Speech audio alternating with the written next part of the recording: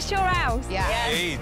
Our job is to guess who is telling the truth. Things are about to get property personal. It is so surreal having three people claim that they are me. It's messing with my head. Get over it. I'm here with my three kids. She doesn't have the eyes of someone who has three kids. Like, One of you has stood here in jewellery that ain't yours. What just happened? This is my house. Nonsense! I'm not old enough to be your mum. She's old enough to be my mum. Can you figure out the real owner? This is My House on BBC One and iPlayer.